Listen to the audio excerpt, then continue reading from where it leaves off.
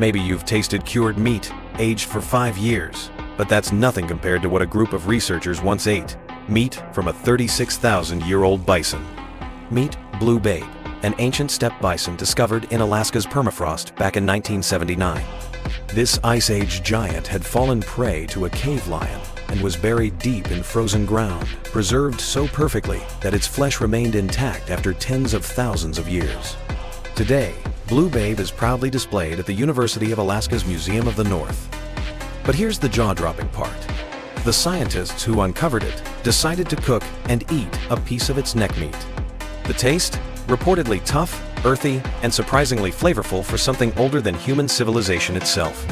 The decision, however, was anything but scientific. Dale Guthrie, the archaeologist who led the experiment, faced heavy criticism for such an unusual and controversial choice.